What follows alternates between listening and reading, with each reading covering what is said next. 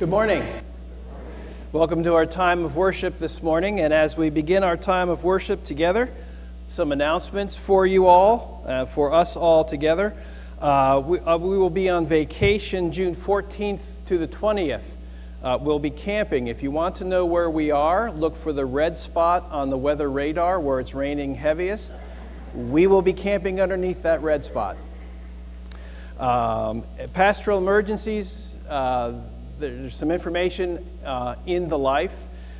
Uh, Jim Hill will be covering not only next Sunday, but he'll be here covering for emergencies. You can get in touch with uh, Bob Murphy, Mr. President, as I refer to him, and uh, or the church office Tuesday through uh, Friday, excuse me, uh, church office, and they'll get things taken care of. Continuing, continuing to ease our way into uh, this Sunday, there will be a couple of slides, words. There'll be some hymns that we can sing. if you're able during this, the, the first Sunday we returned to singing, I forgot it had been so long we didn't stand for singing. And so last Sunday, I remembered stand for singing if you're able uh, during those two hymns. Uh, and uh, the 4th of July watch party is a go. Uh, so we will be hosting that. Uh, check out the article in the Life for more details. I want to thank Marty for being here, filling in today. Uh, Paula and her sidekick are there. Paula will be playing the flute, not the dog.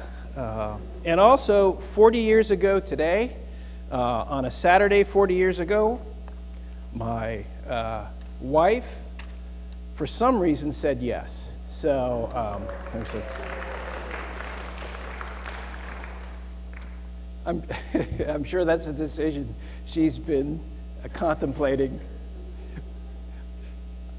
I'll stop. Um, but God is good. The sun is shining. When it rains, God is still good. We have an opportunity this morning to gather together, to worship God together, to give God the thanks and the praise and the worship that He alone deserves. Let us prepare our hearts to worship God.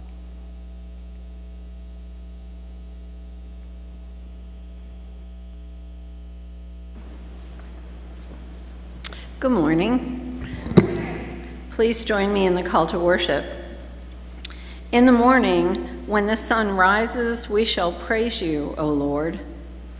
You have delivered us through every long night and given us safe passage across the rivers of struggle. The darkness is past, the light has come. Let us raise our song and prayer to you, O Lord, in joy.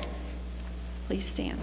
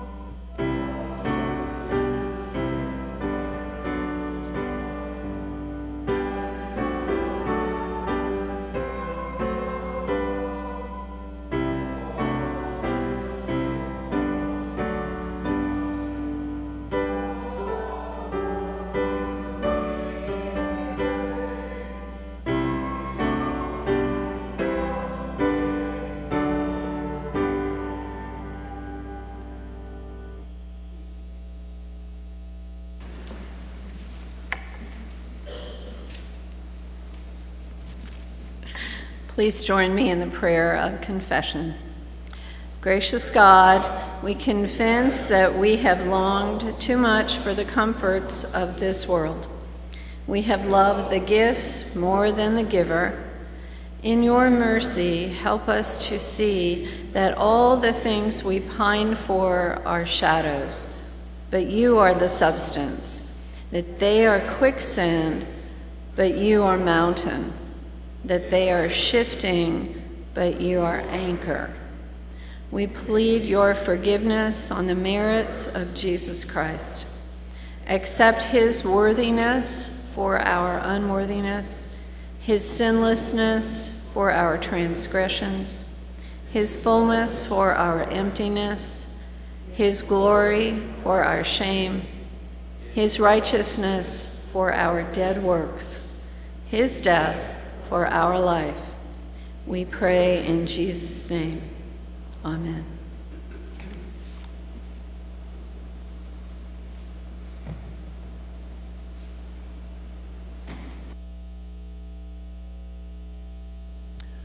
Hear the good news. Romans 6, verse 23 says this For the wages of sin is death, but the gift of God is eternal life in Christ Jesus our Lord. Amen.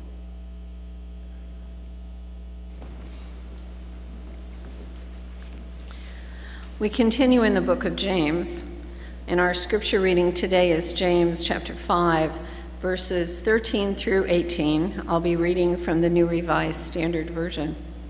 Hear God's word as I share it with you all. Are any among you suffering? They should pray. Are any cheerful? They should sing songs of praise. Are any among you sick? They should call for the elders of the church and have them pray over them, anointing them with oil in the name of the Lord. The prayer of faith will save the sick, and the Lord will raise them up and anyone who has committed sins will be forgiven. Therefore, confess your sins to one another and pray for one another so that you may be healed. The prayer of the righteous is powerful and effective. Elijah was a human being like us, and he prayed fervently that it might not rain. And for three years and six months it did not rain on the earth. Then he prayed again, and the heaven gave rain, and the earth yielded its harvest. This is the word of God for the people of God. Thanks be to God.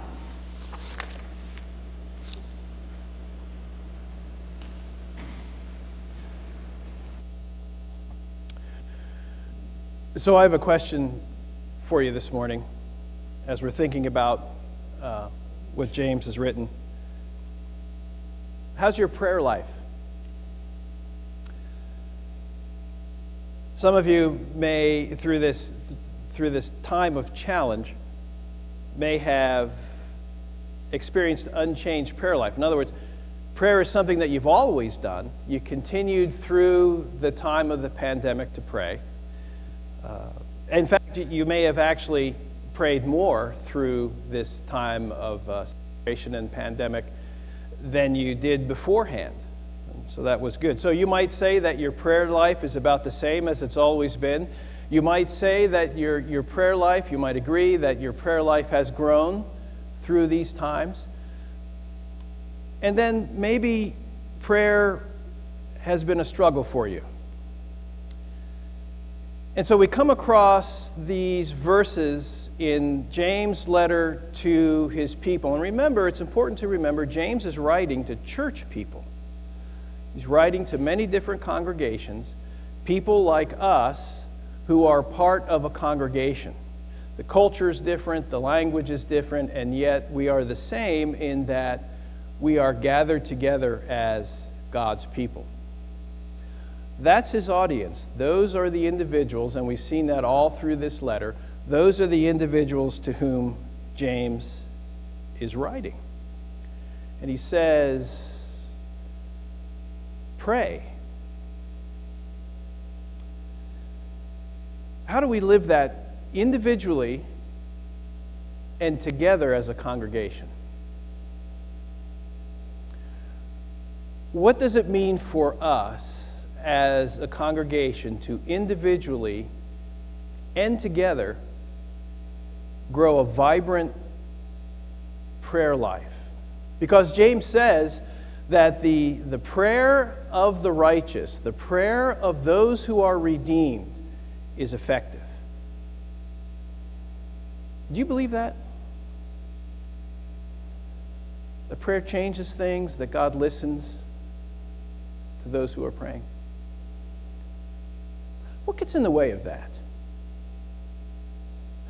Well, maybe it, it, could be our experiences as people. Perhaps you are an individual, someone who has been praying for a certain thing for months, weeks, perhaps even years, and the situation has not changed. The worry is still there, and so you begin to wonder if God has heard your prayers. Or, or maybe, maybe your experience has been that you've prayed for one particular thing for a very specific answer, and the answer was not that which you have prayed for. In fact, it may have even been the opposite.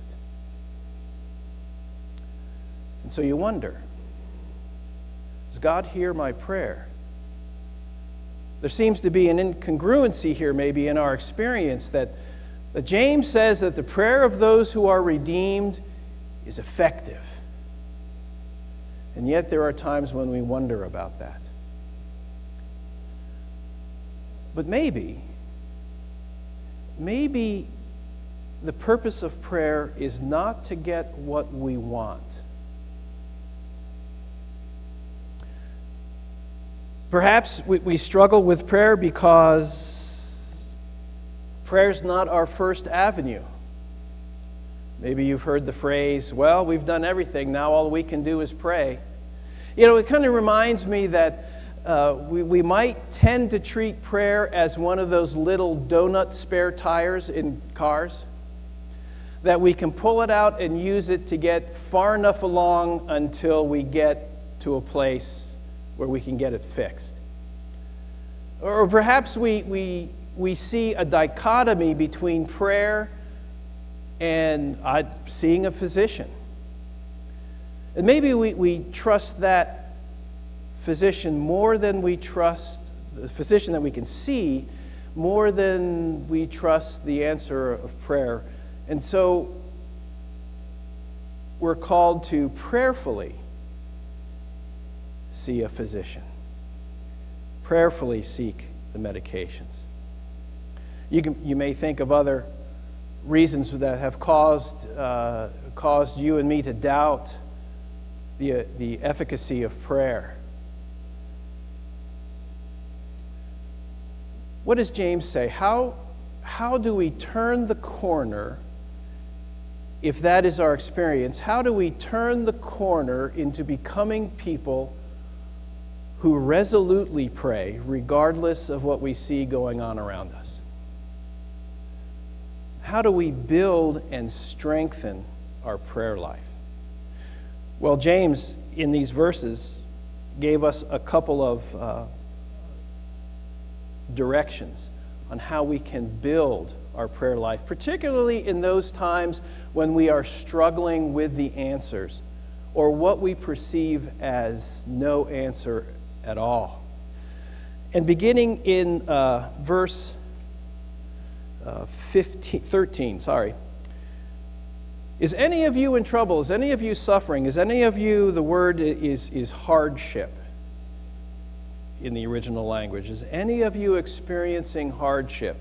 Well, this past year, we know what that, what that is. Uh, is any of you experiencing hardship? Let him pray.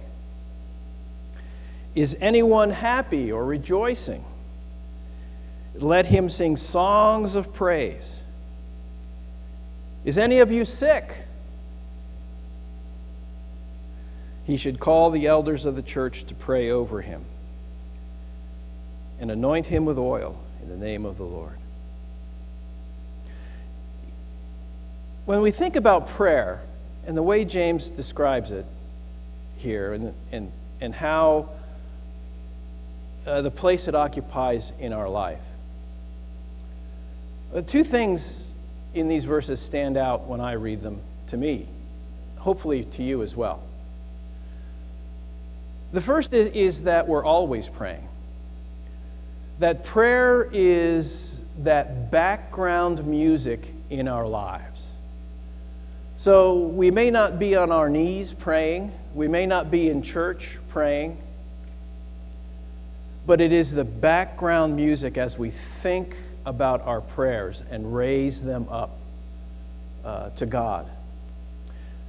The other day we were uh, grocery shopping uh, and they had back that, that, music. It wasn't music, it wasn't elevator music, uh, something more positive than that. But there was music playing, kind of lifted the shopping experience, I guess, was this design. But that is how prayer is in the background of our lives. Think of it as the background music that we hear, that we experience. And not simply in difficult times.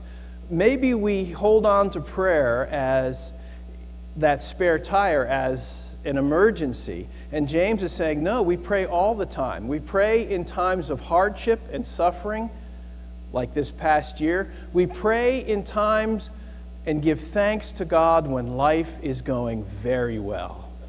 And we raise prayers of thanksgiving. Sing psalms, is what he literally says. And those are prayers. And so prayer is a whole life thing. Prayer is the background music in believers' lives. It is always going on to some extent, perhaps as a, as a, uh, uh, as a thought that passes through our minds as we think about God, perhaps that hymn that comes to mind that we find ourselves humming as we make our way through life and so on.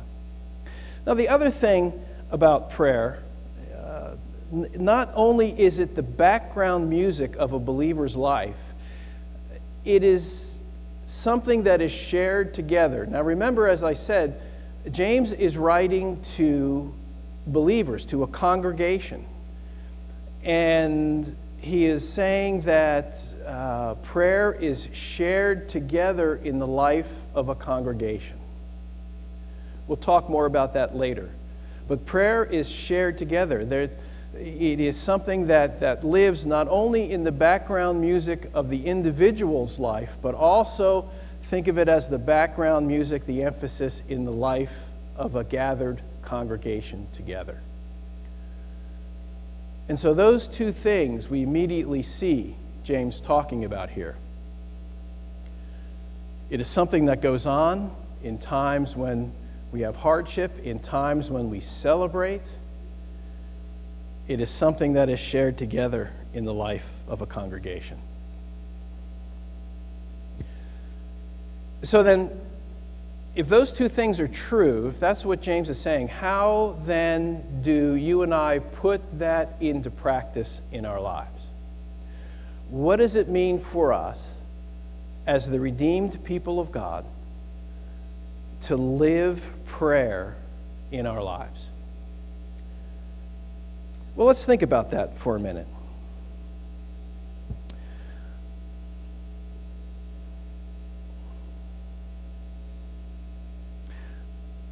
Let me look at verse 15.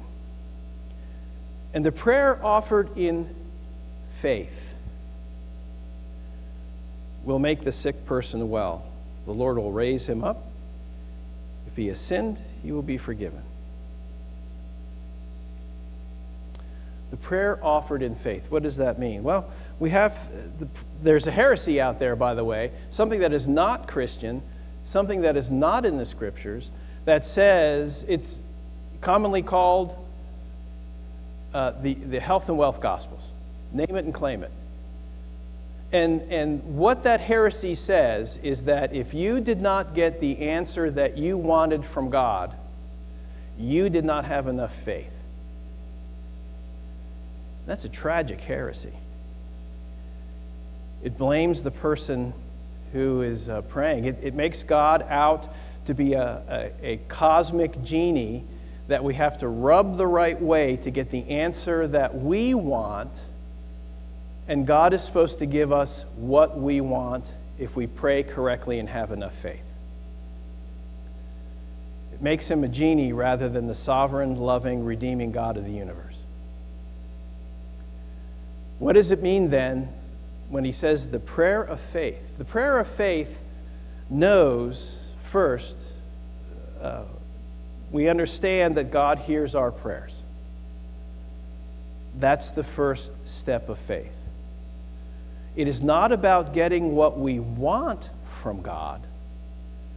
It is about bringing our hearts, our joys, our concerns into God's presence and lifting those joys and concerns and worries and rejoicings to God.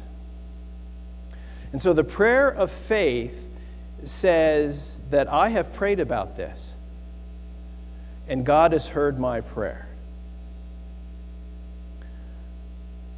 And God will answer the prayer that I have presented to Him and raised to Him, passionately perhaps, even with tears or with joy, that God has heard it. And God loves us too much to not give us the best answer to those prayers according to His will and purpose for us. Jesus told parables about that prayer. And so the one praying says, I have lifted this request to God. He has heard it. And the one praying in faith says, Lord, may I have eyes to see your answers to this prayer. Let me see your answers. Because the point of prayer is not to get what we want, although God often does that, but to pray according to his will and purpose and kingdom. Remember how Jesus prayed in the Garden of Gethsemane. Nevertheless, not what I want, but your will be done. And so we would say, Let us see your will and your answers to these prayers. That's the prayer of faith. It is not striving to get from God what we want, it is bringing our lives and our concerns and prayers to God, lifting them into God's presence, and praying that we will see His good and faithful answers. Now, sometimes I've heard people say, you know, I prayed and God didn't answer my prayer. And, and I think what they mean by that, not to sound judgmental or self righteous, I pray not, but I think what they're really saying is that God did not give me what I wanted when I prayed. Therefore, God did not answer my prayer. Well, how many of you have raised children?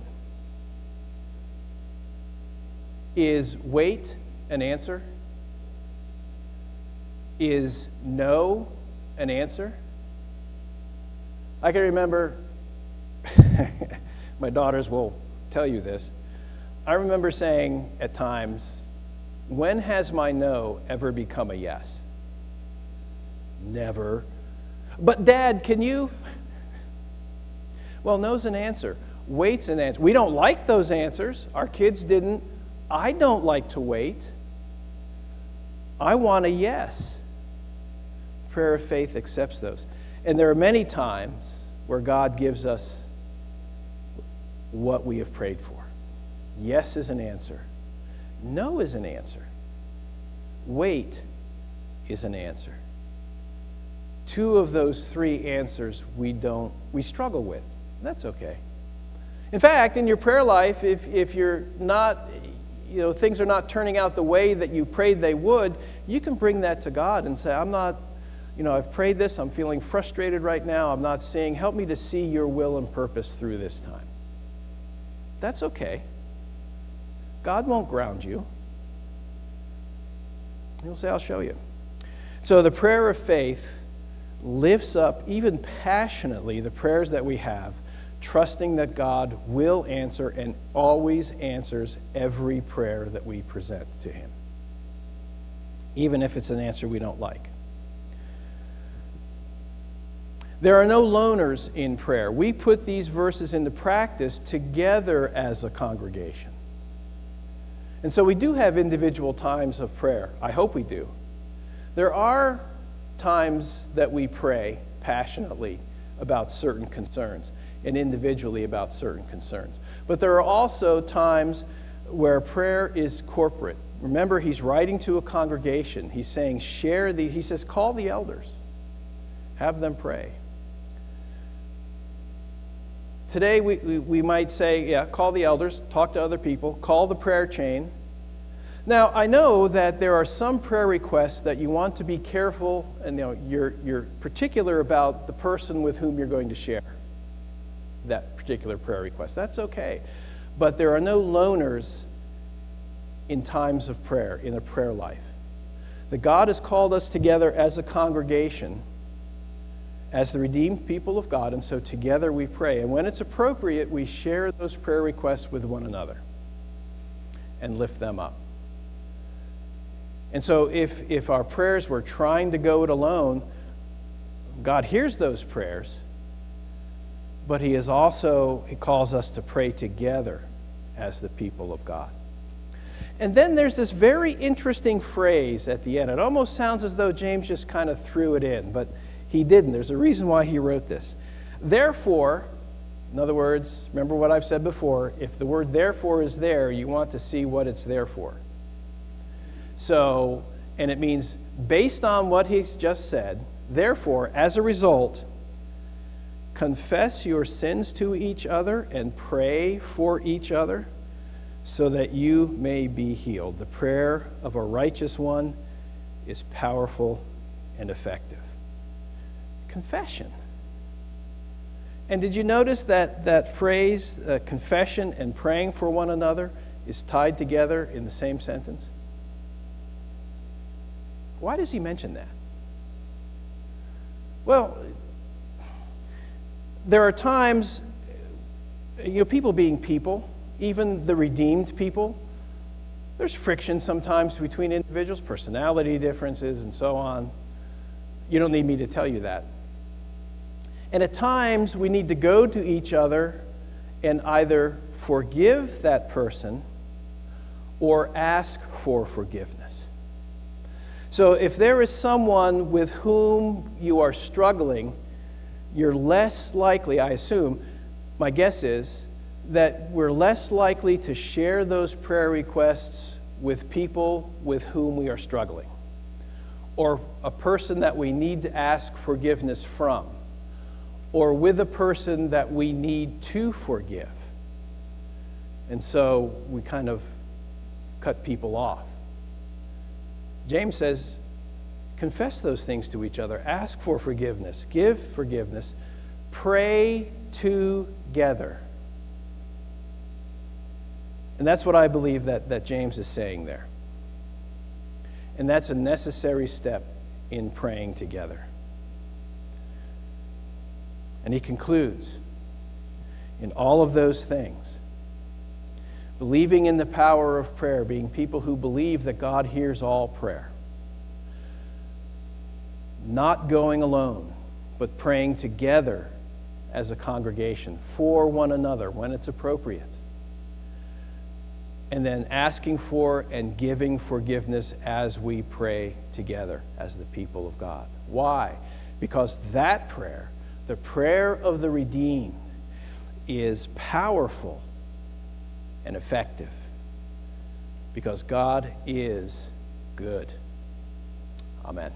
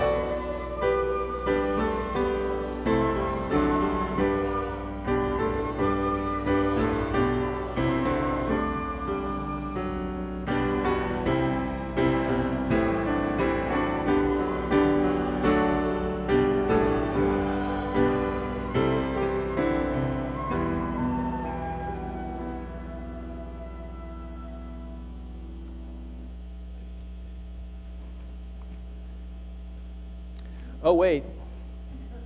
Stand back up. If you're able. and let us declare what we believe through the Apostles' Creed.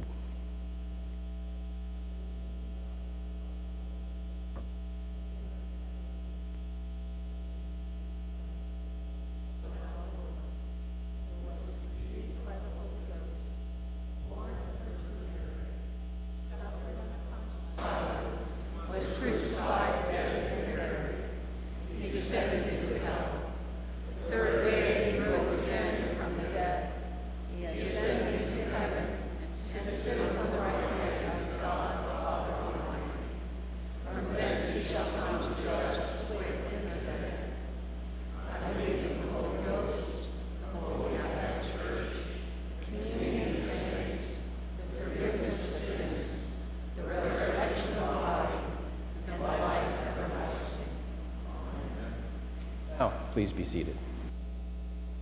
As we come to our time of uh, sharing uh, prayers and concerns, uh, we have uh, answering uh, the veterans would like us to know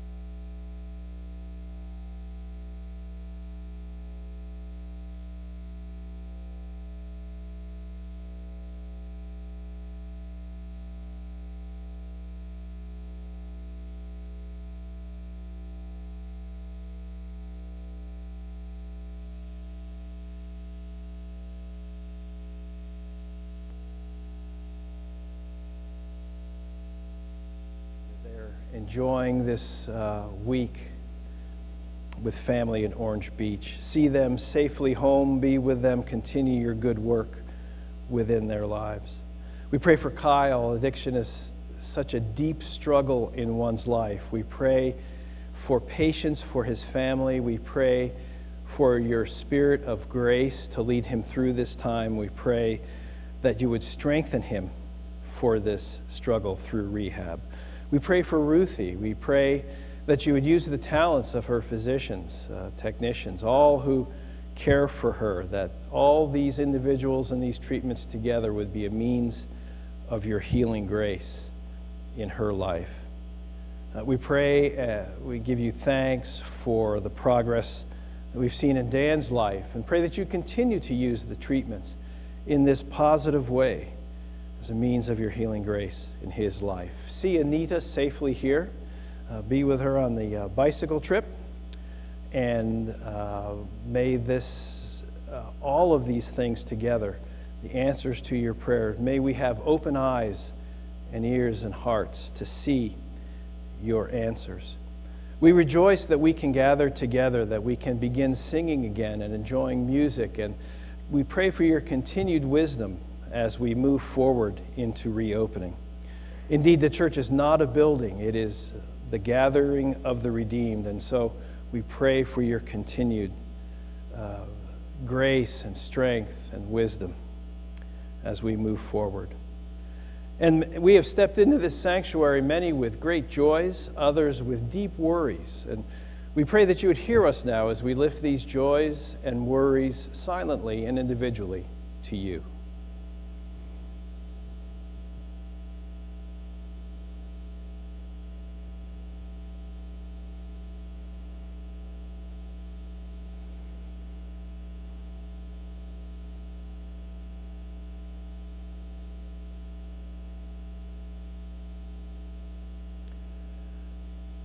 Heavenly Father, we rejoice that you hear all prayers, spoken and unspoken.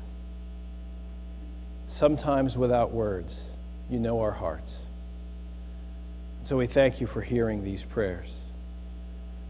And again, we ask for open eyes and hearts to see your answers. And hear us as together as your people we pray the prayer that uh, your Son and our Savior has taught us. Our Father, who art in heaven, hallowed be thy name. Thy kingdom come, thy will be done, on earth as it is in heaven. Give us this day our daily bread, and forgive us our sins as we forgive those who sin against us. And lead us not into temptation, but deliver us from evil. For thine is the kingdom, and the power, and the glory forever. Amen. One of the things that will be happening uh, in our near future, I hope, is uh, we will be able to pass the plate. But as you know, we're not able, we're still holding off on that. Uh, the, the plate is, the offering plate is right outside the door there to the narthex. Thank you for your support. And as always, you may get tired of hearing me say this, but we're not supporting an institution or a church building, but we are supporting the kingdom of God and mission and outreach as we make our way through this time of uh, transition into the bright future that God has for this congregation. So thank you for your faithfulness and your commitment. And uh, let us pray together the prayer of dedication. Gracious and holy God, accept what we offer this morning our checks and cash, our faltering steps, our brokenness, our leftovers our lives. Bless and transform all that we offer and all that we hold back, that new life may be ours to celebrate and share in Jesus' name. Amen. And now may the grace and mercy and peace from God the Father, God the Son, God the Holy Spirit fill your lives now and forevermore through Jesus Christ, our risen and living Lord. Amen.